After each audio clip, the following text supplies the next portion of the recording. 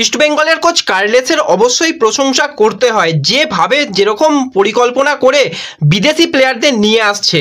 তো ইস্টবেঙ্গল দলের অবশ্যই দরকার ছিল একজন বক্স স্ট্রাইকার যে কিন্তু দুর্দান্ত ছন্দে থাকবে এবং সুযোগ পেলেই গোল করবে। সেইভাবেই কিন্তু ইস্টবেঙ্গল আজকে তাদের নতুন বিদেশি প্লেয়ারকে সাইন করিয়ে নিল। এবং একটা ব্রিলিয়ান্ট সাইনিং হয়েছে আইএসএল এর ইতিহাসে বলতেই হয় এবং ইস্টবেঙ্গলের জন্য কিন্তু এটা দুর্দান্ত একটা সাইনিং হয়েছে।